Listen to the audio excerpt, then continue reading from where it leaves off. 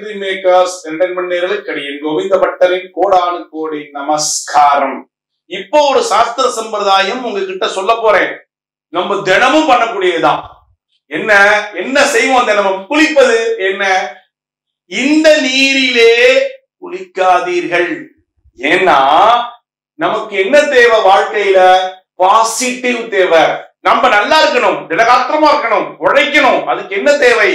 முதுகுத்தண்டு தேவை. நம்மளுடைய குளியலானது நன்றாக இருக்க வேண்டும். அதானே?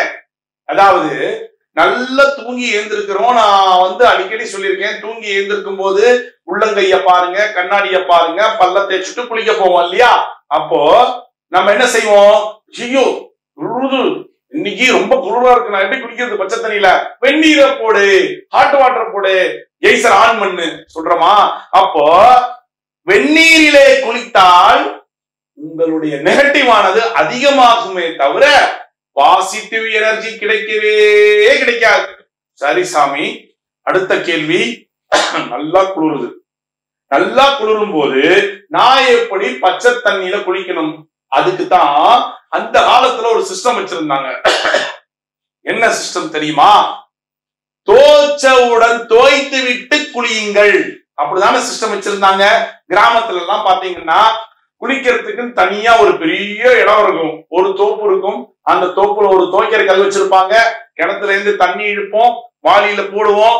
வேட்டியோ ஏதோ அவனை டக்கு டக்கு டக்குன்னு தோப்போம் துவைக்கும் பொழுது அந்த தண்ணியானது சில துளிகள் மேலே பட பட என்ன ஆகும் தெரியுமா? குளிரானது நம்மளை விட்டு போய்விடும். அப்போ இந்த தண்ணியானது சூடாயிடும். எது? பச்சை தண்ணி பாம் வாட்டர் மாதிரி ஆயிடும். கிணறு கிணறுல இருந்து எடுத்து குளிக்கும் பொழுது அதுடைய இதுவே தனி ஆயிடும் அப்ப கிராமத்துல இருக்கிறவங்க எல்லாம் பச்சை தண்ணியில தான் குளிப்பாங்க. யாருமே வெந்நீர் போட மாட்டாங்க. அப்ப அவங்களுடைய நெகட்டிவ் எனர்ஜி போய் பாசிட்டிவ் எனர்ஜி கிரியேட் ஆகுறதுனால அவங்களுடைய வாழ்க்கையானது சுபீட்சமாக இருந்தது. பார்த்திருக்கீங்களா? உங்க தாத்தா பார்த்திருக்கீங்களா? கண்ணாடி போட மாட்டாரு.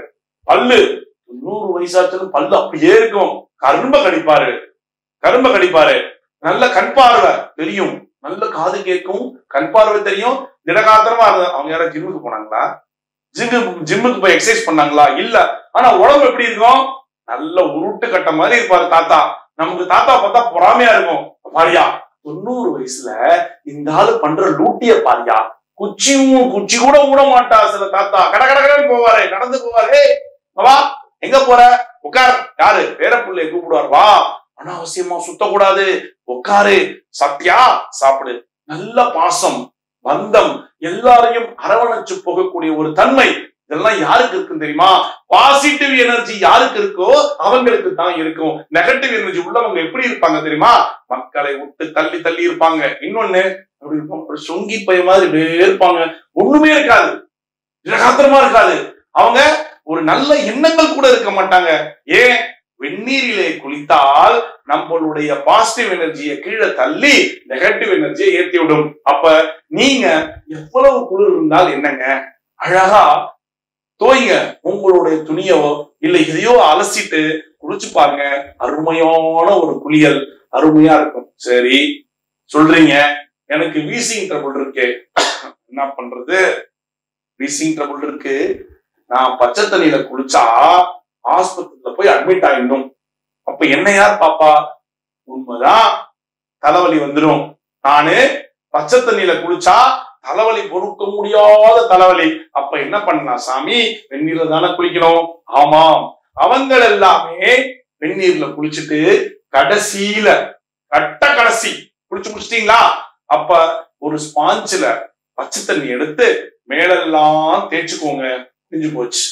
அப்ப நெகட்டிவ் போய் பாசிட்டிவ் வந்துடும் யாருக்கு தெரியுமா இது? முடியாதவர்களுக்கு மட்டும்தான். எனக்கு முடியும்.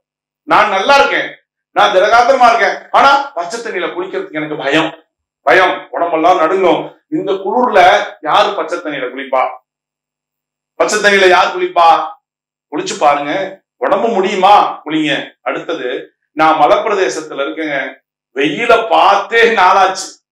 வெயில பார்த்தே நாளாச்சு. ஆனா குளிர் காலை கீழே வைக்க முடியாது. அவங்களுக்கு பரவாயில்லை. ஏன் தெரியுமா? அதாவது அந்த இடத்தினுடைய சீதோக்ஷ நிலையை வச்சுதான் நம்ம சொல்லணும். நான் சென்னையில இருக்கேன். சென்னையில ரெண்டு மாசம் தான் குளிர் அதுக்கப்புறம் பாத்தீங்கன்னா அடிக்கிற வெயில்ல மூணு தடவை குளிக்கணும் போல இருக்கும்.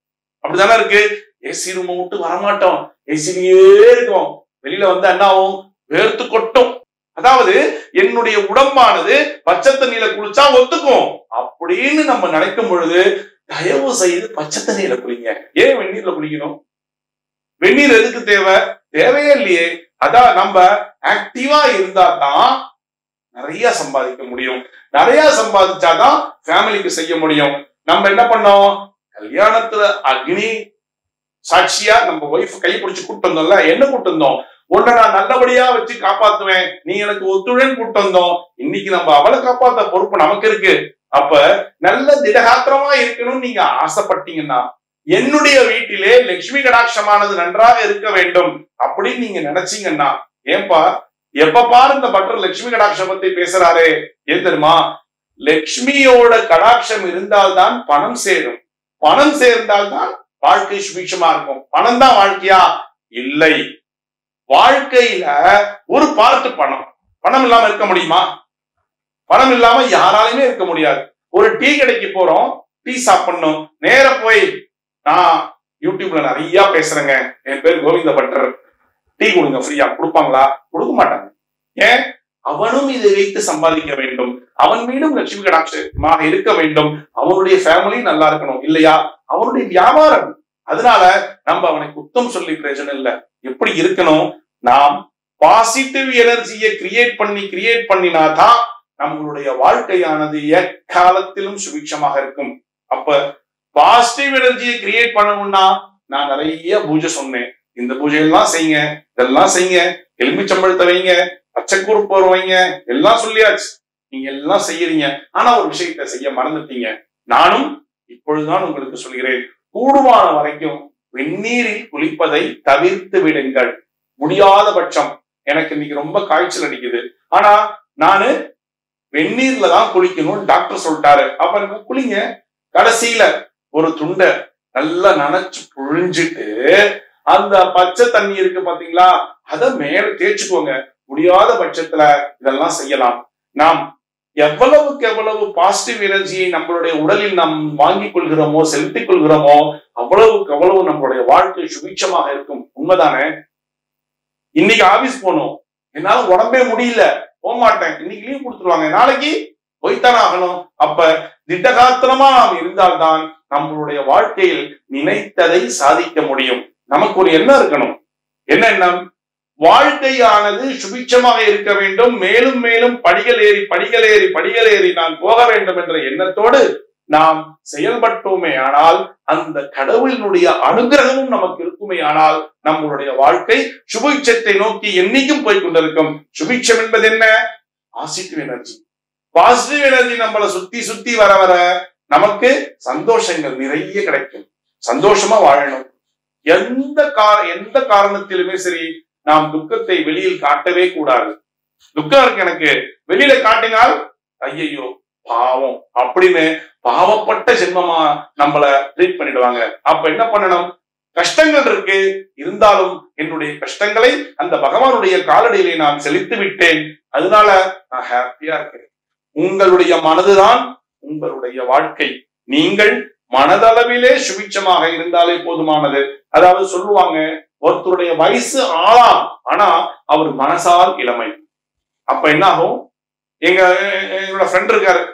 ஏ- ஏற்கனவே சொன்னேன் இல்லையா? மனோஜ் சந்திரான்னு. பழுக்கமண்டையா இருப்பாரு. அவரை பார்த்தா எல்லாரும் சொல்லிடுவாங்க என்ன இவருக்கு ஒரு அறுபது வயசு இருக்குமா? அப்படிம்பாங்க. ஆனா அவர் இளமையா இருப்பார். காரணம் என்ன தெரியுமா? மனது. நம்மளுடைய மனதானது எவ்வளவு கவ்வளவு இளமையாக எவ்வளவு கவ்வளவு நம்மளுடைய வயதானது குறைந்து கொண்டே இருக்கும். உண்மைங்க நீங்க எங்கேயும் போய் மேக்கப்லாம் பண்ண வேண்டாம். உங்களுடைய மனச இளமையா வச்சுக்கோங்க. அதுக்கு என்ன பண்ணணும்? பாசிட்டிவ் எனர்ஜியை கிரியேட் பண்ணுங்க.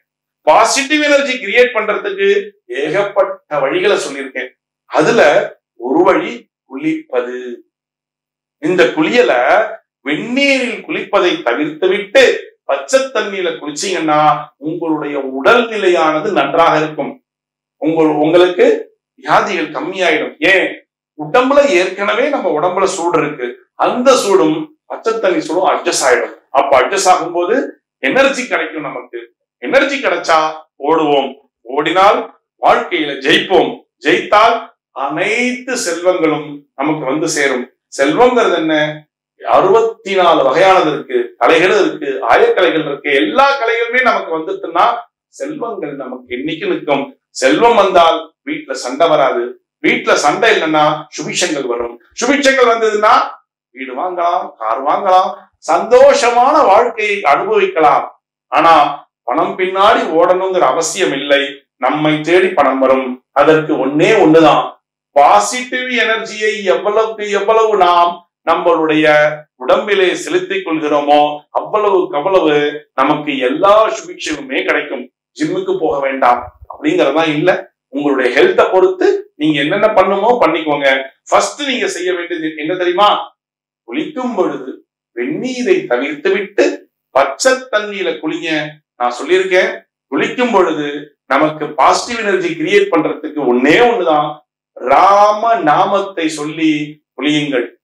இல்லனா நீங்கள் கங்கையில போய் குளிக்கணும்னு நினைச்சீங்கன்னா ஓம் கங்காயை நமக ஓம் சாவித்ரியை நமக ஓம் சரஸ்வதியை நமகன்னு மந்திரத்தை சொன்னீங்கன்னா கங்கை காவிரி சரஸ்வதி எல்லாமே வருவா அது இதுவும் சொல்ல முடியலன்னா ராம நாம மந்திரத்தை ராம் ராம் ராம் ராம் ராம் ராம் ராம் ராம் வேற ஒண்ணும் வேண்டாம் தண்ணி ஃபுல்லா வாலியில ரொப்பிட்டு கைய கூப்பிக்கிட்டு ராம் ராம் ராம் ராம் ராம் ராம்னு சொல்லிட்டு அந்த தண்ணிய சொல்லிக்கிட்டே ஊத்துங்க உங்க மேல அவ்வளவு எனர்ஜி கிடைக்கும் ஏன் கலியுகத்திலே பகவானுடைய மந்திரத்திற்கு தான் ஏகப்பட்ட வைப்ரேஷன் இருக்கு அந்த வைப்ரேஷன் எங்க இருக்கும் தண்ணி மூலியமா நம்ம உடம்புக்கு வரும்.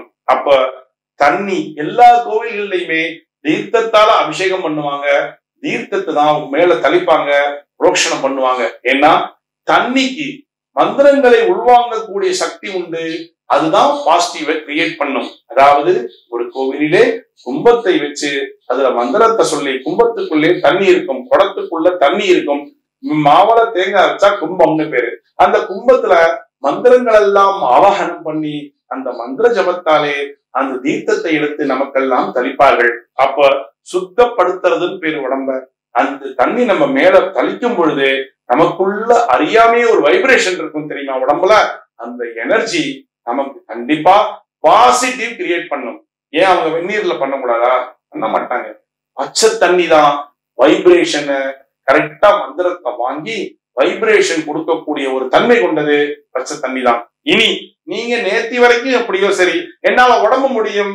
நான் வெந்நீரை தவிர்த்து பச்சை தண்ணீரை குளிக்க ரெடியா இருக்கேன். நீ யார் யாரெல்லாம் இருக்கீங்களோ தயவு செய்து அவர்கள் வெந்நீரை தவிர்த்து பச்சை தண்ணீரை குளித்தால் உங்களுக்கு பாசிட்டிவ் எனர்ஜியானது நிச்சயமாக கிரியேட் ஆகும் என்பது நிதர்சனமான உண்மை. செய்து பாருங்களேன் அது ஒண்ணும் தப்பு இல்லையே ஆனா இத்தனை நாள் நான் வெந்நீர்லயே குளிச்சிட்டேன். நாளைக்குல இருந்து எப்படி நான் என்ன மாத்திக்கிறதுனா கொஞ்சம் கொஞ்சமாக உங்களை மாற்றிக்கொள்ளுங்கள் வேற ஒண்ணும் பண்ண வேண்டாம். இல்ல என்னால குளிக்க முடியாதுன்னா நான் சொல்ற மாதிரி கடைசியில ஒரு துண்டை புழிஞ்சு மேல தொடச்சுண்டு உங்க பாசிட்டிவ் எனர்ஜியை கிரியேட் பண்ணிக்கோங்க. பண்ணிக்கிறீங்களா? மீண்டும் ஒரு சாஸ்திர சம்பிரதாயத்திலே உங்களை சந்திக்கிறேன். பக்தி ட்ரீம் மேக்கர்ஸ் என்டர்டைன்மெண்ட் நெல்லுக்கடியின் கோவிந்த பட்டரின் கோடான கோடி நன்றிகள். Música